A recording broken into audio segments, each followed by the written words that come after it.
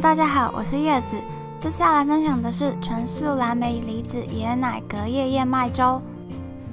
慢慢的天气已经没有变得这么凉，有时候在早上也想吃一碗有点冰凉的隔夜燕麦粥。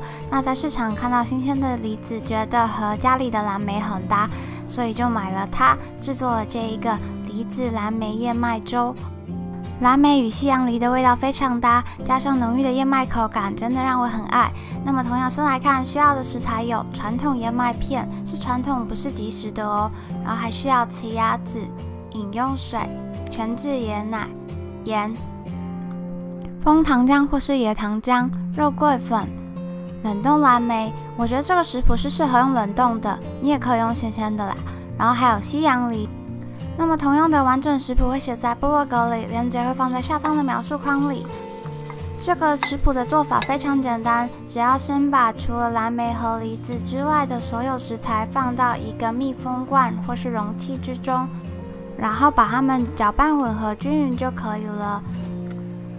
这次比较特别的是，我在这里就有先加一点饮用水，让整体吃起来不会太过于浓郁。然后接着就是肉桂粉。还有枫糖浆或是椰糖浆，那量的部分你可以试味道后自己再做调整。我大概加了二点五小匙，接着放一点点盐是提味用的。然后这个时候可以先盖上盖子，接着我们要做一个摇晃的动作。刚刚有提到是要用密封罐装，这也是其中一个原因啦。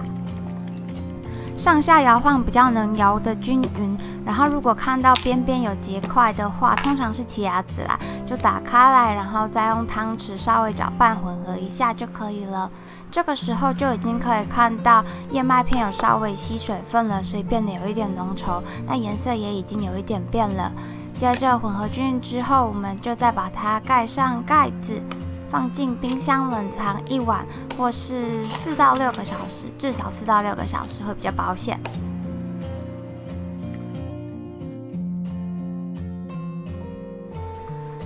接着隔天早上，我们把燕麦杯给取出来，然后准备来切水果。蓝莓的部分我也会先放在一旁，让它稍微解冻一下。那西洋梨这次我使用的是那种有点胖胖的红色的西洋梨，就把它切成丁块状。接着我们打开燕麦杯，把切块的西洋梨丁放到上头。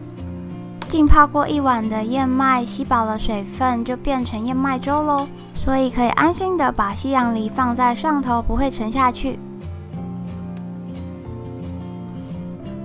接着我们把冷冻蓝莓也放上来。我喜欢让冷冻蓝莓稍微解冻一下，因为它们这样子会释出汁液，让这个燕麦杯带点水分，也不会那么冰。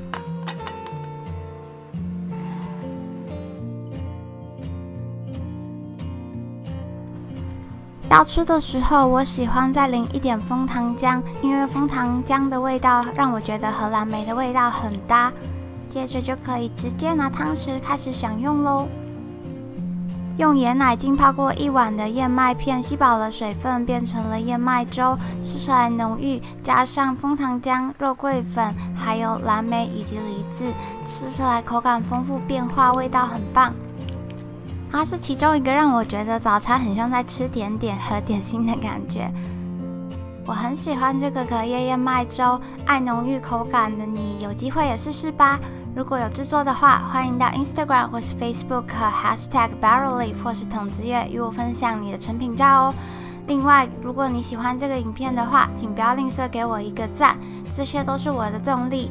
也欢迎订阅追踪我的频道，这样有新影片推出时就会收到通知，不会错过。那最后，谢谢收看，我们下次见喽，拜拜。